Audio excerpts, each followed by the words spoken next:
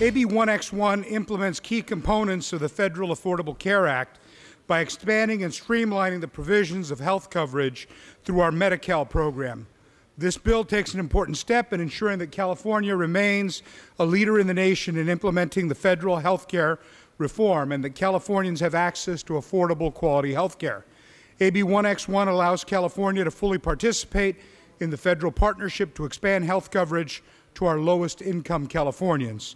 Specifically, this bill would allow Medi-Cal coverage to over 1 million uninsured childless adults, up to 138 percent of the federal poverty level. The bill streamlines and simplifies the enrollment process, consistent with new federal rules that aim to ensure that all eligible people have access to Medi-Cal coverage. AB 1X1 also helps bring billions of dollars of federal money into California, which will bolster our healthcare industry and the overall economy.